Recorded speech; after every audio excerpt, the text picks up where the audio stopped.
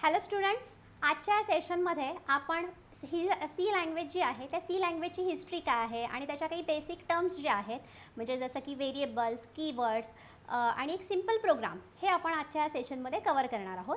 तर आता कुठ सी लँग्वेज स्टार्ट करण्याच्या अगोदर बेसिक बघूयात की काय असतं प्रोग्रामिंग लँग्वेज नक्की प्रोग्रामिंग लँग्वेज काय आहे.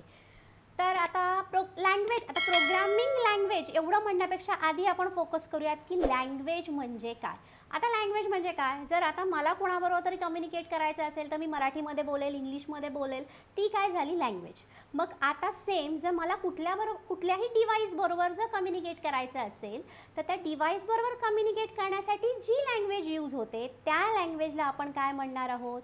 त्या लँग्वेजला आपण म्हणणार आहोत प्रोग्रामिंग लँग्वेज मग आता ही प्रोग्रामिंग लँग्वेज काय करते? तर ही प्रोग्रामिंग लँग्वेज जी आहे ही सेट ऑफ म्हणजे तुमच्या सिस्टीमला काय काम करायचं आहे नक्की याच्या इन्स्ट्रक्शन देते. म्हणजे सेट ऑफ इन्स्ट्रक्शन्सलाच आपण काय म्हणणार आहे? प्रोग्रामिंग लँग्वेज मग ह्या सेट ऑफ इन्स्ट्रक्शन जे तुम्ही कुठल्याही डिव्हाइसला देणार आहेत कुठल्याही सिस्टीमला देणार आहे त्याला आपण काय म्हणणार आहे? प्रोग्रामिंग लँग्वेज मग अशा वेगवेगळ्या प्रोग्रामिंग लँग्वेज असतात. जसं की तुम्हाला माहिती असतील तर कुठल्या कुठल्या प्रोग्रामिंग लँग्वेज असतात? तर सी लँग्वेज आपली आहे सी प्लस प्लस लँग्वेज आहे जावा ही आपली प्रोग्रामिंग लँग्वेज आहे पी एच पी अशी प्रोग्रामिंग लँग्वेज आहे. त्यातली आज आपण कुठली स्टार्ट करतो आहे तर त्यातली आज आपण बघणार आहोत सी प्रोग्रामिंग लँग्वेज मग आता सी प्रोग्रामिंगच्या अगोदर त्याची थोडीशी आपण हिस्ट्री काय आहे हिस्ट्री काय आहे ते आपण बघूयात. मग आता सी ही आपली फर्स्टच प्रोग्रामिंग लँग्वेज आहे का? याच्या अगोदर काही प्रोग्रामिंग लँग्वेज होत्या? तर ते आता थोडंसं एक शॉर्टमध्ये डिस्क्राईब करून घेऊयात. तर फर्स्ट प्रोग्रामिंग लँग्वेज होती अल्गोल सिक्स्टी. ही नाईन्टीन सिक्स्टीमध्ये इन्व्हेंट झालेली आहे. मग ही लँग्वेज जी आहे ती इंटरनॅशनल कम्युनिके कम्युनिटीनी डेव्हलप केलेली आहे नाईन्टीन सिक्स्टीमध्ये. पण ही जी लँग्वेज होती ही खूप सिंपल लँग्वेज होती खूप ॲबस्ट्रॅक्ट लँग्वेज होती. म्हणून परत एक नेक्स्ट लँग्वेज जी आहे ती आपली डेव्हलप झालेली आहे. ती नेक्स्ट लँग्वेज कुठली? तर C P L C P एलचा full form C P L develop झाली आहे नाईन्टीन सिक्स्टी थ्रीमध्ये. तर सी पी एलचा फुल फॉर्म काय? कंबाईन प्रोग्रामिंग लँग्वेज मग कंबाईन प्रोग्रामिंग लँग्वेज जी आहे यानं काय केलं की अल्गोल सिक्स्टीमध्ये जे काही ड्रॉबॅक्स होते हे या लँग्वेजमध्ये काय झाले रिमूव्ह झालेले आहेत. पण ही जी लँग्वेज आहे ती थोडीशी शिकण्यासाठी अवघड होती. म्हणून परत एक नेक्स्ट लँग्वेज डेव्हलप झाली. ती आहे बी सी पी एल म्हणजे बेसिक कंबाईन प्रोग्रामिंग लँग्वेज ही जी लँग्वेज आहे ही नाईन्टीन सिक्स्टी थ्रीमध्ये बी सी पी एल ही आपली प्रोग्रामिंग लँग्वेज डिझाईन झाली. पण ह्या लँग्वेजमध्ये पण काही ड्रॉबॅक्स होते. ह्या लँग्वेजमध्ये काय ड्रॉबॅक्स होते? तर ही तेवढी पॉवरफुल लँग्वेज नव्हती की जेवढी पॉवरफुल लँग्वेज पाहिजे. मग ही लँग्वेज कोणी डेव्हलप केली? तर मर्टिन लिच रिचर्ड हे जे सायंटिस्ट आहेत यांनी ही लँग्वेज नाईन्टीन सिक्स्टी सेवनमध्ये डेव्हलप केली. मग बी नंतर परत अजून एक लँग्वेज डेव्हलप झाली. बी सी पी एल नंतर नेक्स्ट लँग्वेज डेव्हलप झाली बी बी जी आहे ही नाईन्टीन सेवन्टीमध्ये डेव्हलप झालेली लँग्वेज आहे. ही लँग्वेज डेव्हलप केलेली आहे केन थॉम्सन यांनी.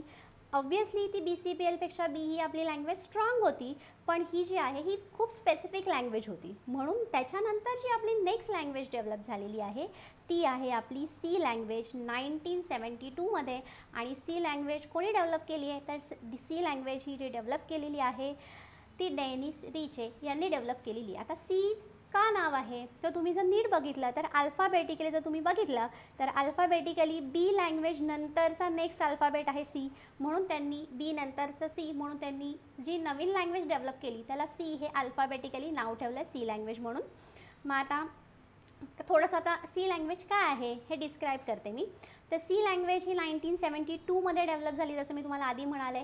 कोणी डेव्हलप केली? तर हे आहे डेनिस रिचे. यांनी ही आपली सी लँग्वेज डेव्हलप केलेली आहे. जी नाईन्टीन सेवन्टी टूमध्ये लँग्वेज डेव्हलप झालेली आहे ती अजूनही यूज होते. म्हणजे ती तेवढी पॉवरफुल आहे तेवढी स्ट्रॉंग आहे. आणि जे आधीच्या प्रोग्रामिंग लँग्वेज होत्या की जसं की B language B C P L language या लँग्वेजमध्ये जे काही प्रॉब्लेम्स होते किंवा जे काही ड्रॉबॅक्स होते हे सगळे लँग ते सगळे ड्रॉबॅक जे आहेत ते सी लँग्वेजमध्ये काय झालेले आहेत? रिमूव्ह झालेले आहेत. मग आता सी लँग्वेज जी आहे ती फर्स्ट जेव्हा डेव्हलप झाली तेव्हा ती लिनक्स ऑपरेटिंग सिस्टीमवरती होती. त्याच्यानंतर नेक्स्ट आता जी आपण सी लँग्वेज यूज करतो ते सी लँग्वेज आता सगळ्या ऑपरेटिंग सिस्टीमवरती तुम्हाला यूज करता येते. चला तर आता मग स्टार्ट करूयात सी लँग्वेजची म्हणजे आता आपण सी ही प्रोग्रामिंग लँग्वेज शिकायला स्टार्ट करू. आता आपण हिस्ट्री तर बघून घेतली त्याचा ही इंटरेस्टिंग लँग्वेज शिकायला आता स्टार्ट करूयात. तर बेसिक. आता ह्या कीवर्ड्स टर्मला जाण्याच्या अगोदर आता तुम्ही कुठलीही लँग्वेज जर तुम्ही शिकत असाल तर बेसिक काय बरं टर्म्स असतात? तुम्ही कुठलीही लँग्वेज शिकत असताना तर बेसिक टर्म असतात की आपण आधी काय शिकतो? की त्या लँग्वेजमधले कुठले अल्फाबेट्स आहेत. त्याच्यानंतर ते अल्फाबेट्स मिळून आपण एक काय करतो? एक सेंटेन्स किंवा एक वर्ड लिहिणार तुम्ही सगळ्या अल्फाबेटचं कॉम्बिनेशन वगैरे करून. तुम्ही एक वर्ड लिहिणार. ते वर्ड चं कॉम्बिनेशन करून तुम्ही काय करणार? एक सेंटेन्स प्रोड्यूस करणार. तुम्ही कुठलीही लँग्वेज शिका तुम्ही इंग्लिश शिका जर्मन शिका मराठी शिका ही स्टेप असते ना तुम्हाला डिरेक्टली कोणी सेंटेन्स बनवायला नाही शिकवणार आहे. आणि त्याच्यानंतर तुम्ही हे सेंटेन्स बनवून तुम्ही एक पॅरेग्राफ लिहिणार आणि नंतर ह्या पॅरेग्राफ म्हणून मग तुमचे नोट्स तयार होतील तुमची एक बुक क्रिएट होईल. मग आता बेसिक तसंच आता आपण एक नवीन लँग्वेज शिकायला सुरुवात केली. ती कुठली आहे? Programming language C programming language. मग जसं इंग्लिश शिकताना आपण अल्फाबेट असतो तसंच कुठलेही तुम्ही जेव्हा याच्यामध्ये पण या सी लँग्वेजचे काही अल्फाबेट्स आहेत ते आपल्याला शिकायचे आहेत. सी लँग्वेजचे अल्फाबेट्स म्हणजे अल्फाबेट्स डिजिट स्पेशल सिम्बॉल याचं कॉम्बिनेशन केलं की आपले सी लँग्वेजचे काय झाले? अल्फाबेट झाले. मग ह्या अल्फाबेटचं तुम्ही कॉम्बिनेशन करून तुम्हाला काय मिळणार आहेत? कीवर्ड्स मिळणार आहेत. जसं इथे आपल्याला वर्ड्स मिळत होते की नाही तसं आपल्याला काय मिळणार आहेत? कीवर्ड्स मिळणार आहेत. सेंटे जसं इथे सेंटेन्स होते तर कीवर्ड्स मिळणार आहेत कॉन्स्टंट्स असणार आहेत व्हेरिएबल्स असणार आहेत. आणि ह्या सगळ्यांची मिळून हे सगळ्यांचा तुम्ही कंबाईन करून तुम्ही एक इन्स्ट्रक्शन क्रिएट करणार आहात. आणि ह्या इन्स्ट्रक्शनचा सेट होऊन तुम्ही एक प्रोग्राम लिहिणार आहात. कळालं आहे म्हणजे आपण कशी जर्नी आहे? जसं तुम्ही कुठलीही सिंपल लँग्वेज शिकता तशीच आपण ह्या सिंपल लँग्वेजसारखीच प्रोग्रामिंग लँग्वेज शिकणार आहोत. तर आता स्टार्ट करूयात. त्यातली फर्स्ट टर्म आहे आपली कीवर्ड्स आता हे कीवर्ड्स नक्की काय आहेत हे आता आपण बघूयात. तर कीवर्ड्स म्हणजे काय? तर कीवर्ड्स म्हणजे जे सिस्टीमने काही स्पेसिफिक वर्ड्स आहेत ज्याचा मिनिंग ऑलरेडी सिस्टीमने प्री डिफाईन केलेला आहे स्पेसिफिक मिनिंग असणारे जे वर्ड्स आहेत त्याला आपण काय म्हणणारे? कीवर्ड्स असे सीमध्ये किती कीवर्ड्स आहेत? तर असे सीमध्ये तुमचे टोटल थर्टी टू म्हणजे बत्तीस हे आपले काय आहेत? कीवर्ड्स आहेत. मग त्यातले कुठले कीवर्ड्स मग एवढे थर्टी टू कीवर्ड्स लक्षात ठेवायचे का आपण? काहीही गरज नाही एवढे थर्टी टू कीवर्ड्स लक्षात ठेवायची. तर त्यातले मी एक दोन तुम्हाला सांगते. इफ आहे एल्स आहे त्याच्यानंतर फॉर आहे त्याच्यानंतर वाईल आहे त्याच्यानंतर इंट आहे. आता हे सगळं लिहिल्यानंतर तुम्ही जर फर्स्ट टाईम सी लँग्वेज शिकत असाल तर हे तुम्हाला कुठलं तरी वेगळं मी काहीतरी लिहिते असं वाटेल पण हे हळूहळू ह्या प्रत्येक गोष्ट तुम्हाला कळणार आहे आणि हे सगळं तुम्हाला समजणार आहे. म्हणजे फक्त आत्ता आपल्याला काय समजायचं आहे कीवर्ड्स म्हणजे काय? की ज्याचा ऑलरेडी मिनिंग सिस्टीमनी प्रोव्हाइड करून ठेवला आहे आणि हे सगळे कीवर्ड जे आपण लिहिणार आहोत ते प्रत्येक कीवर्ड आपण लोअर केस लेटरमध्ये लिहितो. कारण की सी ही आपली प्रोग्रामिंग लँग्वेज जी आहे ती आपली केस सेन्सिटिव्ह लँग्वेज आहे. केस सेन्सिटिव्ह लँग्वेज म्हणजे तुम्ही अप्पर केसमध्ये जर तुम्ही इफ लिहिलं आणि स्मॉल लेटरमध्ये जर इफ लिहिलं तर हे इफ जे आहे ते तुम्हाला इथे अलाउड नाही आहे हे इफच अलाउड आहे. सगळे कीवर्ड्स आपण कंपल्सरी कुठल्या केसमध्ये लिहिणार आहोत तर लोअर केसमध्ये लिहिणार आहोत. कीवर्ड समजले आहेत आता नेक्स्ट टॉपिककडे जाऊया. तर आता आपण कीवर्ड्स बघितले. तर कीवर्ड्स नंतरची नेक्स्ट टर्म काय आहे? व्हेरिएबल आता व्हेरिएबल म्हणजे काय? की आता आपल्याला दोन नंबरची कन्सिडर करा ॲडिशन करायचे. मग दोन नंबरची जर तुम्हाला ॲडिशन करायची असेल तर दोन नंबर आहेत फाईव्ह आणि थ्री म्हणजे आता कॅल्क्युलेटर सगळ्यांनी तर वापरलेला आहे. तर तुम्ही फाईव्ह आणि थ्री हे तुम्ही कॅल्सीला काय दिलं? इनपुट दिलं. हे फाईव्ह इनपुट दिलं थ्री इनपुट दिलं. मग हे फाईव्ह आणि थ्री कुठेतरी मेमरीमध्ये जाऊन स्टोअर होणार आहेत. हे फाईव्ह आणि थ्री कुठे स्टोअर होणार आहेत? तर फाईव्ह आणि थ्री तुमचे स्टोअर होणार आहेत. कुठेतरी मेमरीमध्ये जाऊन स्टोअर होणार आहेत. फाईव्ह थ्री बरोबर? मग ह्या मेमरी लोकेशनला आपल्याला जे काही नाव द्यायचं आहे त्याला आपण काय म्हणणार आहे? व्हेरिएबल व्हेरिएबल म्हणजेच काय? Name given to the memory location simple भाषेमध्ये. आता मग हे व्हेरिएबलचं काय गरज आहे? काय काम आहे त्या व्हेरिएबल्सचं आता बघा तुम्हाला कॉलेजला जायचं आहे कॉलेजला जाताना तुम्हाला बरेचसे काही बुक्स घेऊन जायचे आहेत मग बघ बुक्स घेऊन आता तुमचे तुम्ही ते हातामध्ये नाही बुक्स ठेवणार ना? ते तुम्ही बुक्स कुठे ठेवणार? ते बुक्स ठेवणार तुम्ही एका बॅगेमध्ये. हे तुमचे बुक्स आहेत आणि हे बुक्स तुम्ही ठेवलेत एका बॅगेमध्ये. मग आता इथे बॅग जी आहे ही बॅग तुमचं कंटेनरचं काम करते. आणि बुक्स आहेत हा तुमचा डेटा आहे किंवा ह्या तुमच्या बुक्स आहेत. मग आता इथं हे सेम काम आपला व्हेरिएबल करणार आहे. व्हेरिएबल जो आहे तो एका कंटेनरसारखा वर्क करणार आहे. आणि त्याच्यामध्ये आपण काय स्टोअर करतो आहे डेटा स्टोअर करतो आहे म्हणजे व्हेरिएबल हे आपलं कंटेनर आहे किंवा मेमरी लोकेशनला दिलेलं काय आहे? नाव. म्हणजे ह्याला आता मी नाव दिलं मेमरी लोकेशनला नम ह्याला मी नाव दिलं सॅलरी ह्याला मी नाव दिलं एक व्हेरिएबल घेतला. ह्याच्यामध्ये मी स्टोअर केलं फोर्टी ह्याला नाव दिलं मी एन ओ हे हे काय झाले? तर हे जे आहेत हे सगळे झाले माझे व्हेरिएबल्स आणि हे व्हेरिएबल काय करणार आहे तर हे व्हेरिएबल डेटा स्टोअर करायचं काम करणार आहेत. म्हणजे इथे बॅग हे आपला व्हेरिएबल आणि हे आपले बुक्स हे आपला काय झाला? डेटा रिअल लाईफ एक्झाम्पलबरोबर आपण हे मॅच केलं. आता नेक्स्ट कन्सेप्ट आता आपण बघणार आहोत आयडेंटिफायर तर आयडेंटिफायर म्हणजे काय? तुम्ही आता मेमरी लोकेशनला नाव दिलं. मग मेमरी लोकेशनला जेव्हा आपल्याला नाव द्यायचं आहे तेव्हा आपण ते कशीही नावं देऊन चालणार नाही आहे तर ते नावं देताना आता तुम्हाला त्या व्हेरिएबलला जेव्हा तुम्ही एखादं नाव देता तेव्हा तुम्हाला काहीतरी त्याचे रूल्स फॉलो करावे लागतात. जिकडे जिकडे तुम्ही नेमिंग देणार आहात व्हेरिएबलला नाव दिलं फंक्शनला नाव दिलं स्ट्रिंगला नाव दिलं जिकडे जिकडे तुम्ही नेमिंग कन्व्हेन्शन फॉलो करणार आहात ते नेमिंग जिथे तुम्ही देणार त्या नेमिंगलाच काय म्हणणार आपण काय म्हणणार आयडेंटिफायर. ते नेमिंग म्हणजेच काय आहेत? आयडेंटिफायर. आता आपण कन्सिडर काय करणार आहे?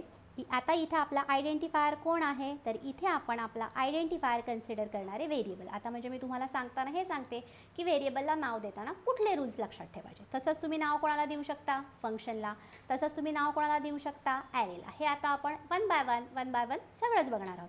तर फर्स्ट रूल काय आहे आयडेंटिफायरचा तर व्हेरिएबलला नाव देतानाचा फर्स्ट रूल जेव्हा तुम्ही कुठल्याही व्हेरिएबलला नाव देणार आहात तेव्हा त्याच्यामध्ये फक्त अल्फाबेट्स डिजिट्स आणि अंडरस्कोर एवढंच यूज करायचं. अल्फाबेट्स म्हणजे capital A to Z small A to Z digit zero to नाईनचं कुठलंही कॉम्बिनेशन आणि फक्त तुम्हाला अंडरस्कोर एवढंच यूज करता येणार आहे. मग तुम्ही जर आता एखाद्या व्हेरिएबलला नाव दिलं कन्सिडर करा. हा माझा व्हेरिएबल आहे त्याला मी नाव दिलं की नंबर डॉट वन. तर हे व्हेरिएबल नेम बरोबर आहे का? नाही. हे व्हेरिएबल नेम तुमचं बरोबर नाही आहे कारण की ह्याच्यामध्ये तुमचा कुठला ऑपरेटर आला आहे डॉट हा ऑपरेटर आलेला आहे. म्हणजेच कुठलंही नाव देताना त्याच्यामध्ये तुम्हाला फक्त लोअर अप्पर केस एवढंच यूज करताना. म्हणजे आता मला सांगा कुठले व्हेरिएबल तुम्हाला ते व्हॅलिड व्हेरिएबल नेम सांगते. जर मी असं लिहिलं नंबर वन तर हे व्हेरिएबल नेम बरोबर आहे. त्यानंतर मी लिहिलं नंबर स्पेस वन. तर हे व्हेरिएबल नेम चुकीचं आहे कारण की याच्यामध्ये आपला स्पेस आला आहे त्याच्यानंतर जर मी लिहिलं नंबर अंडरस्कोर वन हा झाला अंडरस्कोर तर हे व्हेरिएबल नेम बरोबर आहे. आणि जर मी असं लिहिलं नंबर डॅश वन तर हे व्हेरिएबल नेम काय आहे? आपलं रॉंग आहे. आलं आहे हा पॉईंट आता नेक्स्ट पॉईंटकडे जाऊयात आपण. तर प्रत्येक व्हेरिएबल जे आहे ते व्हेरिएबल्समध्ये तुम्ही सगळ्या अल्फाबेट्स डिजिट आणि अंडरस्कोर अल्फाबेट जी जी आणि अंडरस्कोरचं कॉम्बिनेशन करू शकता. पण ते आता अजून आपल्याला काय म्हणणं आहे त्यांचं?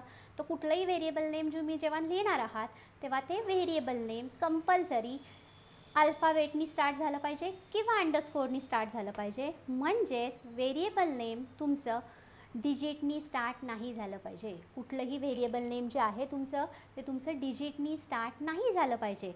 आता एक्झाम्पल बघूयात आपण त्याचं पण लगेच आहे. म्हणजे जर मी इथं व्हेरिएबल नेम लिहिलं वन नंबर तर हे व्हेरिएबल नेम तुमचं करेक्ट आहे.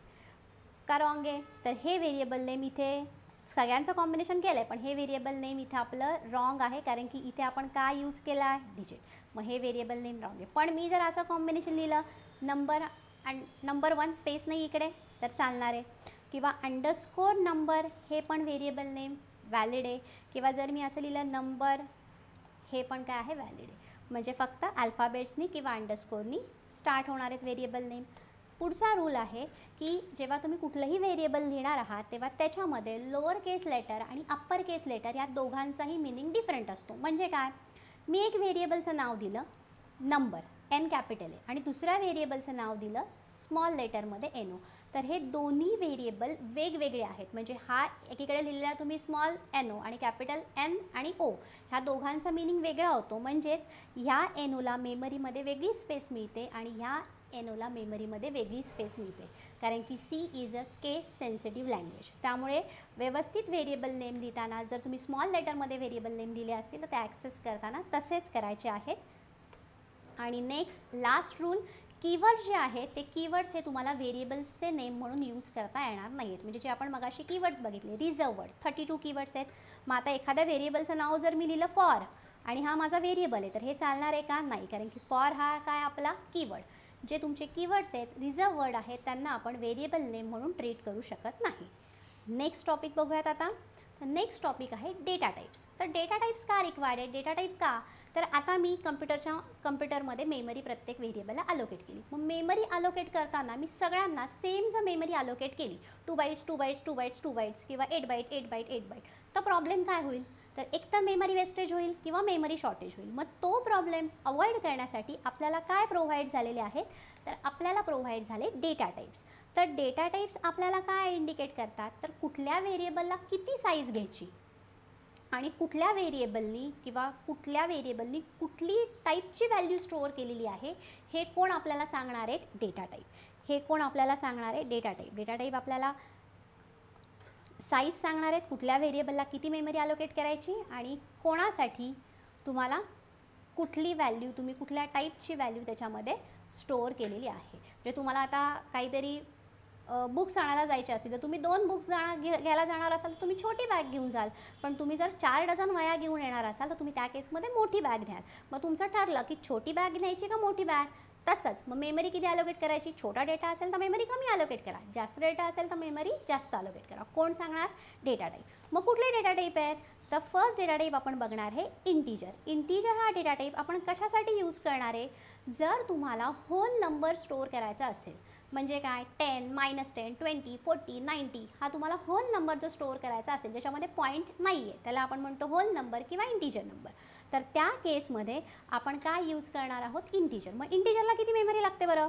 तर इंटिजरला टू बाईट्स लागतात विंडोज ऑपरेटिंग सिस्टीममध्ये आणि फोर बाईट्स लागणार आहेत लिनक्स ऑपरेटिंग सिस्टीममध्ये म्हणजे आता याचं एक्झाम्पल जर तुम्हाला स्टोअर करायचं असेल जर तुम्हाला स्टोअर करायचं असेल इंटिजरसाठी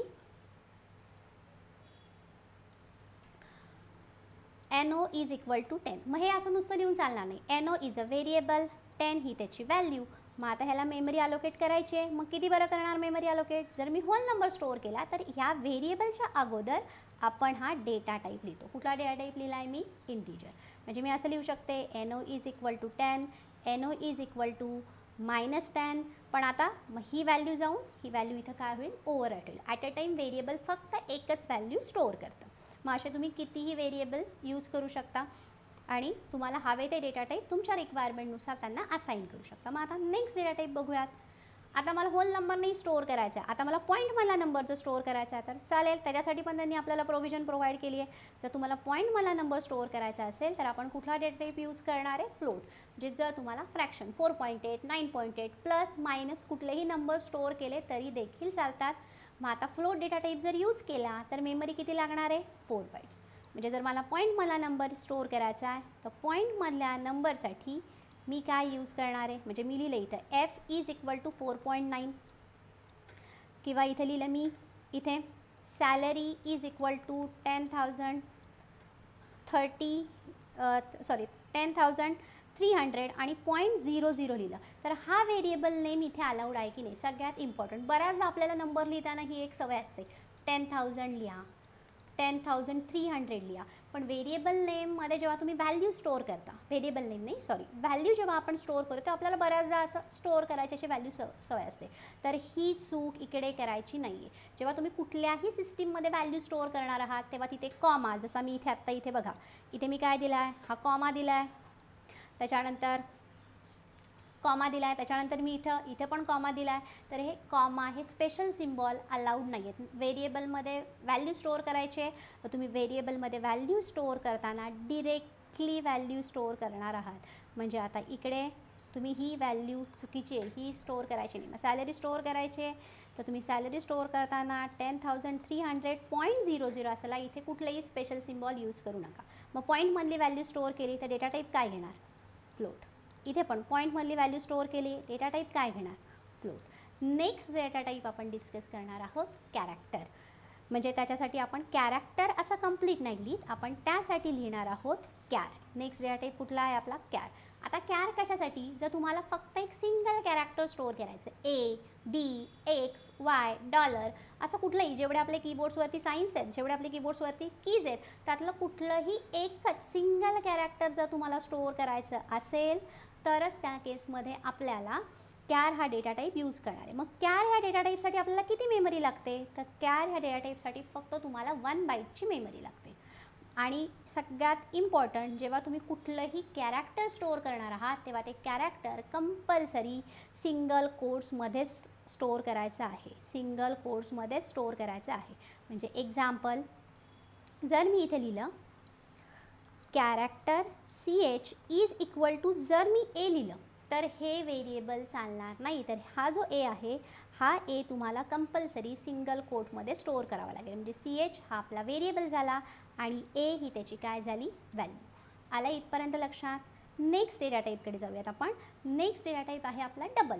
मग आता कधी कधी कसं होतं की आपल्याला फ्लोट म्हणजे फ्रॅक्शन नंबर स्टोअर करायचा आपण फ्लोटनी जी मेमरी अलोकेट केली आहे फोर बाईट्स तेवढी आपल्याला सफिशियंट नाही. आपल्याला थोडीशी जास्त मेमरी हवी आहे. मग त्या केसमध्ये आपण फ्रॅक्शनल नंबरच स्टोअर करण्यासाठी काय यूज करणार आहे? डबल. आणि डबलला किती मेमरी येणार आहे? तर डबलला तुम्हाला मेमरी येते एट बाईट्सची मेमरी येते. डबलसाठी किती मेमरी येणार आहे? एट बाईट्सची मेमरी येणार आहे. म्हणजे एक्झाम्पल आपल्याला नंबर स्टोअर करायचा आहे zero point zero zero zero zero zero zero eight nine हा खूप मोठा नंबर आहे हा फ्लोटमध्ये नाही स्टोअर होणार. पण पॉईंट्सचाच नंबर आहे मग आपण डेटा टाईप कुठला यूज करणार आहे? डबल आणि नॉर्मल जरी तुम्ही फोर पॉईंट एट डबलमध्ये स्टोअर केलं तर काही एरर येणार आहे का? नाही. कारण की सिंपल आहे आपल्याकडे जर एक कंटेनर असेल एट बाईटचं आणि दुसरं असेल फोर बाईटचं जे तुमच्याकडे आता कन्सिडर करा तुमच्याकडे चार लि तीन लिटर दूध आहे किंवा चार लिटर दूध आहे. मग हे चार लिटर दूध तुम्ही चार लिटरच्या भांड्यामध्ये भरलं आहे बसणार. आहे आणि चार लिटरचं दूध आठ लिटरच्या भांड्यामध्ये बसणार आहे का? बसणार. आहे मग सेम व्हेरिएबल आपल्या कंटेनर आहेत त्या साईजनुसार मग सेम एट बाईटचा डेटा तुम फोर बाईटचा डेटा एट बाईटमध्ये बसेल पण उलटं पॉसिबल नाही आहे म्हणजे मग इथे मी असं लिहू शकते double D is equal to three point fourteen असं काही नाही की खूप मोठाच नंबर घेतला पाहिजे. नॉर्मल फ्लोट नंबर पण तुम्ही डबलमध्ये स्टोअर करू शकता. नेक्स्ट लाँग म्हणतात किंवा लाँग इंटिजर म्हणतात. लाँग किंवा लाँग इंटिजर कशासाठी यूज करतात? तर आता कन्सिडर करा तुम्हाला एखादा होल नंबर स्टोअर करायचा आहे पण होल नंबर स्टोअर करताना तुम्हाला जी इंटिजरनी किती बाईटची मेमरी दिली आहे? टू बाईटची मेमरी दिली आहे. ती सफिशियंट नाही आहे थोडीशी मोठी मेमरी जास्त मेमरी पाहिजे. मग काय यूज करा? लाँग यूज करा. मग लाँगसाठी मेमरी किती मिळणार आहे तुम्हाला? तर लाँगसाठी इथे तुम्हाला मिळणार आहे फोर बाईटची मेमरी नॉर्मली तुम्हाला fifty thousand eighty thousand one lakh number जर स्टोअर करायचा असेल तर त्या केसमध्ये तेवढा मोठा नंबर तुमचा इंटिजरमध्ये स्टोअर होत नाही. मग त्या केसमध्ये आपण काय यूज करणार? लाँग मग तुम्ही हा व्हेरिएबल लिहिताना आपण असं डिक्लेअर करतो long int N O is equal to one lakh कळालं आहे म्हणजे आता एन ओ हा आपला व्हेरिएबल आणि ही त्यातल्यातली वन लॅक ही आपण स्टोअर केलेली व्हॅल्यू आणि लास्ट डेटा टाईप आपण आपण बघूयात तो आहे आपला लास्ट डेटा टाईप आहे वॉइड लास्ट डेटा टाईप कुठला आहे आपला? तर लास्ट डेटा टाईप आहे आपला वॉइड मग वॉइड म्हणजे काय? ॲक्च्युली वॉइड हा जो डेटा टाईप आहे वॉइड म्हणजे नथिंग काहीही नाही. मग हा डेटा टाईप कायसाठी लागतो? तर हा डेटा टाईप कुठलीही व्हॅल्यू किंवा व्हेरिएबल स्टोअर करण्यासाठी नाही यूज होत. तर हा डेटा टाईप आपण यूज करणार आहे जेव्हा आपण फंक्शन नेक्स्ट थोडंसं पुढे गेल्यानंतर पुढच्या व्हिडिओजमध्ये जेव्हा आपण फंक्शन बघू तेव्हा फंक्शनमध्ये वॉइड हा डेटा टाईप यूज होतो. सम इथून पुढचं आता इथपर्यंत लक्षात आलं आहे आता पुढे. आता आपल्याला काय करायचं आहे एक सिंपल आपल्याला प्रोग्राम करायचा आहे मला माझं नाव किंवा तुम्हाला तुमचं नाव स्क्रीनवरती प्रिंट करायचं. आता हे सगळी बेसिक ज्या बेसिक रिक्वायरमेंट आहेत त्या आपण सगळे टर्म समजून घेतल्या. मग आता आपल्याला एक कुठलाही मेसेज प्रिंट करायचा असेल स्क्रीनवरती आपल्या कन्सोलवरती तर त्या केसमध्ये लास्ट फंक्शन आता आपल्याला लागणार आहे ते आहे सिंपल प्रोग्राम करण्यासाठीचं एक प्रिंटेफ तर प्रिंटेफ हे जे फंक्शन आहे हे प्रिंटेफ फंक्शन कशासाठी यूज करणार आहे आपण?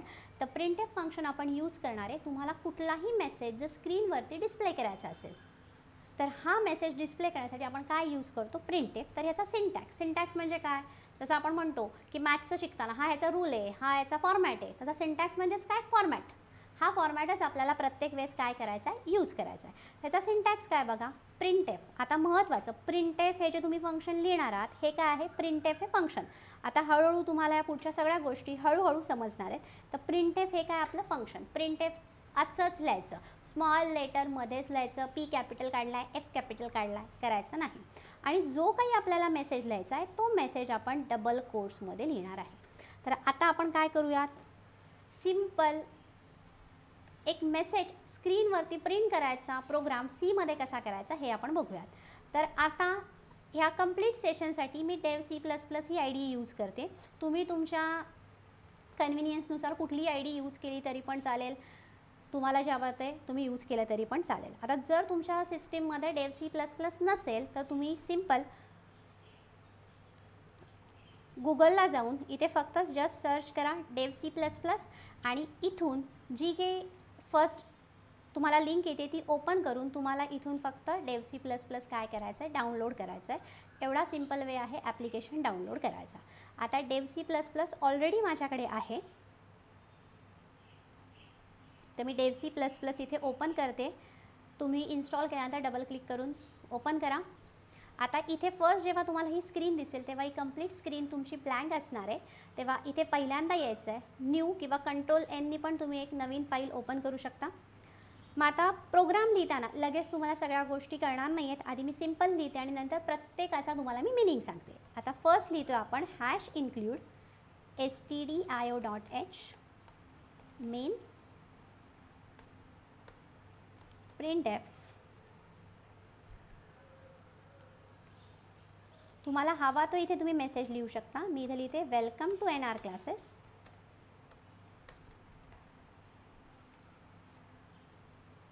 तुम्हाला हवा तो. आता हा एवढा माझा प्रोग्राम लिहून झाला. आता हा प्रोग्राम लिहून झाल्यानंतर इथे येणार आहे मी आणि फाईलमध्ये जाऊन हा प्रोग्राम सेव्ह करणार आहे किंवा कंट्रोल एस हे तुमच्या शॉर्टकटनी सेव्ह केला तरी पण चालेल. आता इथे तुम्हाला एखादा स्पेसिफिक लोकेशनला स्टोअर करायचं तर तुम्ही एखाद्या स्पेसिफिक लोकेशनला पण स्टोअर करू शकता. इथे मी ड्राईव्हवरती जाते. सीवर ई ड्राईव्हवरती e गेलेली आहे मी. इथं तुम्हाला हवं तर तुम्ही एक नवीन फोल्डर क्रिएट करा. इथे मी एक नवीन फोल्डर क्रिएट करते. सी व्हिडिओ सी प्रोग्राम्स तुम्ही हवं ती फोल्डरचं नाव द्या.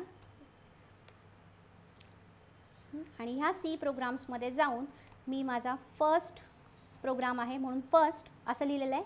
आणि इथे डॉट सी असं लिहिलेलं आहे. इथे मी काय लिहिलं आहे डॉट सी असं लिहिलेलं आहे. डॉट सी हे डॉट सी हे आहे. हे प्रत्येक कुठलाही तुम्ही सीचा प्रोग्राम केला तर त्याला तुम्हाला एक्सटेन्शन कुठलं द्यायचं आहे? डॉट सी म्हणजे हे एक्सटेन्शन आहे. ह्यांना आयडेंटिफाय होतं की हा सीचा प्रोग्राम आहे. जसं तुम्ही जावाचा प्रोग्राम केला की डॉट जावा देता. पी एच पीचं लिहिलं की डॉट पी एच पी लिहिता. तसंच आपण सीचा प्रोग्राम करणार आहे. तर इथे तुम्हाला जे प्रोग्रामचं नाव हवं आहे ते नाव लिहा. नावामध्ये पण परत स्पेस देऊ नका. आणि त्याच्यानंतर डॉट सी हे आपलं काय आहे? एक्सटेन्शन हा प्रोग्राम मी आता काय करते? सेव्ह करते. मग प्रोग्राम सेव्ह केल्यानंतर पुढे आपण प्रोग्राम कंपाईल करणार. मग आता नक्की काय करतो कंपाईल करणार वगैरे? तर तेही आता आपण बघणार आहे. प्रोग्राम कंपाईल करतो आहे तर प्रोग्राम कंपाईल झाल्यानंतर एकही एरर जर तुमच्या प्रोग्राममध्ये आलेली नाही तर कंपायलर असतो. तर कंपायलर काय करतो की आता आपण प्रोग्राम कुठल्या लँग्वेजमध्ये लिहिला? तर आता आपण प्रोग्राम लिहिलेला आहे सी लँग्वेजमध्ये. पण आता सी ही जी लँग्वेज आहे ही आपली हाय लेवल लँग्वेज आहे. सी ही जी लँग्वेज आहे आपली ही हाय लेवल लँग्वेज आहे. पण सिस्टीमला कुठली करते? तर सिस्टीमला फक्त मशीन लेवल लँग्वेज कर करते. मग आता कंपायलर जो आहे तो तुम्ही जो हाय लेवलमध्ये लिहिलेला लँग्वेज आहे हाय लेवलमध्ये लिहिलेला जो काही प्रोग्राम आहे तो मशीन लेवलमध्ये कन्वर्ट करायचं काम जो आहे तो कोण करणार आहे? कंपायलर. म्हणजे तो ट्रान्समीटर. म्हणजे मला इंग्लिश कळतं आहे पण तुम्हाला कळताना तुम्हाला हिंदी कळते पण मलाही इंग्लिश येत नाही तुम्हालाही हिंदी येत नाही. मग आपण दोघं एकमेकांशी कसं कम्युनिकेट करणार? मग आपण इथे एक थर्ड पर्सन ठेवू. तो थर्ड पर्सन मी इंग्लिशमध्ये बोललेलं हिंदीमध्ये कन्वर्ट करून सांगेल आणि तुम्ही हिंदीमध्ये बोललेलं मला इंग्लिशमध्ये कन्वर्ट करून सांगेल. म्हणजे कन्व्हर्टर आहे. मग सेम कंपायलर हा पण एक कन्व्हर्टरचं काम करतो. हाय लेवलमध्ये लिहिलेला कुठलाही कोड तुम्हाला जर लो लेवलमध्ये कन्वर्ट करायचा असेल तर आपण काय यूज करणार आहे? कंपायलर तो हा कंपायलर आहे. मग आता कंपायलर आता तुम्ही बघा इथे बघा. मी इथं पी हा कॅपिटल काढला आणि परत इथे कंपाईल आणि रन केला. मग इथे मला एरर आली. कुठली एरर आली? तर इथे एरर जर तुम्ही बघितली तर मला एरर आलेली आहे अनडिफाईन रेफरन्स टू प्रिंटेफ कुठली एरर आलेली आहे? अनडिफाईन रेफरन्स टू प्रिंटेफ म्हणजे जसं मी तुम्हाला सांगितलं C is a case sensitive language आणि जे फंक्शन्स त्यांनी ज्या लेटरमध्ये दिलेत स्मॉल तर स्मॉलमध्येच यूज करायचे. आणि हे सेमिकोलन काय आहे? तर सेमिकोलन हे जे आहे हे आपलं टर्मिनेटर आहे. टर्मिनेटर म्हणजे आपण कसं कुठलंही इंग्लिशचं सेंटेन्स येतं ते सेंटेन्स कंप्लीट झाल्यानंतर आपण फुल स्टॉप देतो. तसंच हा आपलं एक इन्स्ट्रक्शन कंप्लीट झालेली आहे. मग ही कंप्लीट झाल्यानंतर इथे आपण काय देणार आहे? सेमिकोलन जर तुम्ही इथं कुठलेही सिंटॅक्स एरर केली कुठलाही सिंटॅक्स तुमचा रॉंग असेल तर त्या केसमध्ये तुमचा प्रोग्राम कंपाईल होणार नाही. कंपाईल नाही झाला तर तुम्हाला आउटपुट येणार नाही. आता आपला प्रोग्राममध्ये मी चेंजेस परत केले परत एकदा करते मी कंपाईल कंपाईल होऊन मला इथे आउटपुट आलेलं आहे बघा.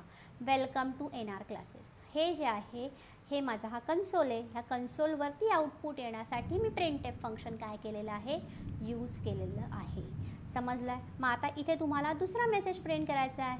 आता इथे तुम्हाला प्रिंट करायचा आहे welcome to N R classes किंवा तुम्हाला इथे करायचं आहे message I like C programming तुम्हाला जो मेसेज प्रिंट करायचा आहे तो तुम्ही इथे मेसेज प्रिंट करू शकता. आणि तो मेसेज फक्त एवढाच आहे की डबल कोर्समध्ये पाहिजे. चेंजेस केले प्रोग्राममध्ये तर पुन्हा एकदा प्रोग्राम कंपाईल करा.